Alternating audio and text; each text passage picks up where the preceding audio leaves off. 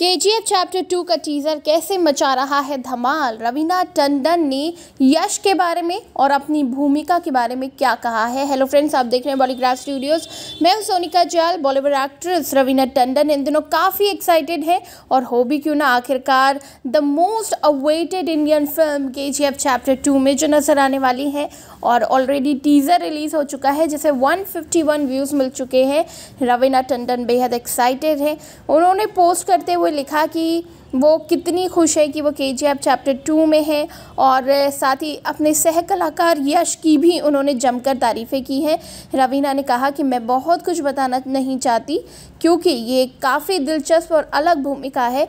रमिका सेन काफ़ी जटिल है, लेकिन एक ही समय में बहुत शक्तिशाली हैं और उन्हें रंगों का रंग मिला है। आप मेरे चरित्र की भविष्यवाणी नहीं कर सकते।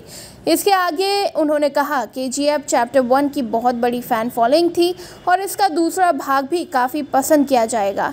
मेरा पहला लुक मेरे प्रशंसकों को बहुत पसंद आया। मुझे यकीन है कि वो रमिका को स्क्रीन पर देखना पसंद करेंगे। के जी एफ़ चैप्टर टू का टीज़र जैसा कि कहा कि रिलीज़ हो चुका है दोस्तों और साथ ही ये विवादों में भी गिर गया है। सिगरेट वाले सीन को लेकर कि कहा जा रहा है कि आखिर सिगरेट वाला जो सीन है, उसमें चेतावनी क्यों नहीं लिखी गई?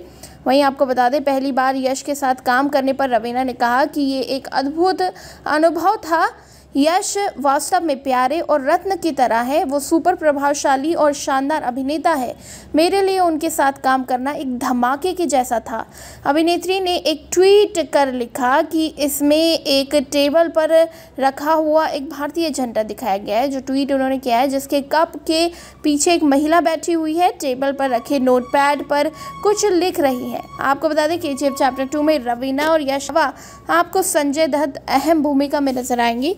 अधीरा का किरदार वो करने वाले हैं और जो लुक सामने आए हैं अभी तक वो वाकई रोंगटे खड़े करने वाले हैं। टीज़र में भी दिख रहा है, उनका बैक पोर्शन दिख रहा है और जो फ्रंट पोर्शन आया है, वो तो वाकई फ़िल्म के लिए और भी ज़्यादा एक्साइटमेंट बढ़ा देता है, जितने भी संजू के फैंस हैं, वो तो बेसब्री से इस फ़िल्म का इंतज़ार कर रहे हैं।